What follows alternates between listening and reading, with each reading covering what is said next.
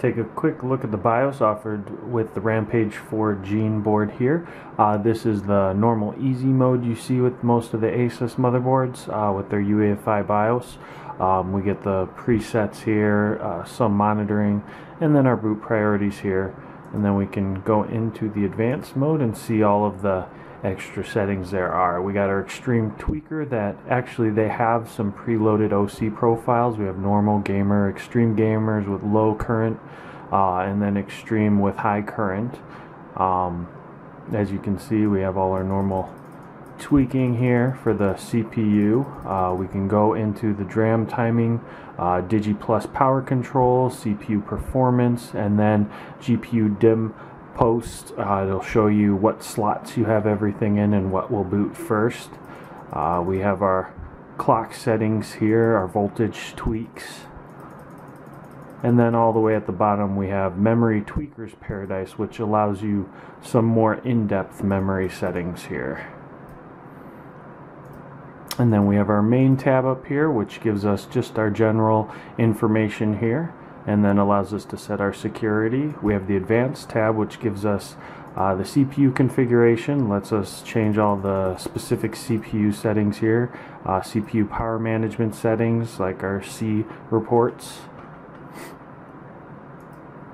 When we go back, we got our agent configuration, which will let us set the PCIe links uh, to end their gens uh, as you can see here, we can go Gen 1, Gen 2, Gen 3 on each of the PCIe uh, links. PCH configuration, SATA configuration, USB configurations, our onboard devices we can turn on and off, and our APM here. And then we also have the monitor, uh, voltage monitor, temperature monitor, fan speeds and fan speed controls. Take a quick look at those.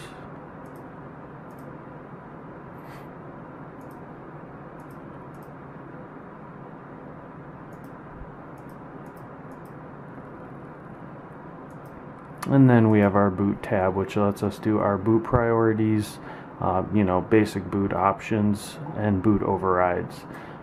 We also get the tool tab that lets us do all of the special things. Uh, we can turn on the LED on the motherboard for the specific uh, cutoff lighting that they have for the Supreme FX3.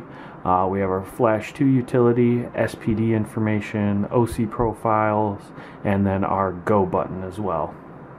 And that is the BIOS for the Rampage 4 Gene board.